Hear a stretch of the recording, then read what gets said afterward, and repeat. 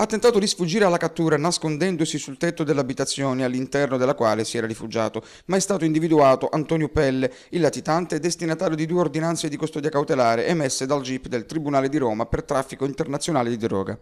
Il particolare è emerso nella conferenza stampa dei carabinieri, presenti tra gli altri il comandante provinciale Lorenzo Falferi e il comandante del reparto operativo Vincenzo Franzese. Pelle, che non era armato e non ha opposto resistenza, si trovava in un'abitazione di Contrada Sant'Anna di proprietà di Antonio Penna, di 48 anni, noto alle forze dell'ordine per piccoli precedenti e che è stato arrestato per favoreggiamento. Penna però, in casa assieme alle due sue figlie, non risulterebbe legato alla criminalità organizzata. Secondo gli investigatori, il latitante si trovava solo di passaggio nella piana di Gioia Tauro, dal momento che si ritiene sia la Locride il luogo dove si sarebbe nascosto negli ultimi quattro anni. Irrepelibile dal maggio 2012, quando era sfuggito all'arresto nell'ambito dell'operazione denominata Good Luck, portata a termine a Roma, Pelle è ritenuto elemento di spicco della Cosca Vottari e nel 2007 era stato arrestato nell'ambito delle operazioni che seguirono la strage di Duisburg, collegata alla faida di San Luca tra i Pelle Vottari e i Nirta Strangio.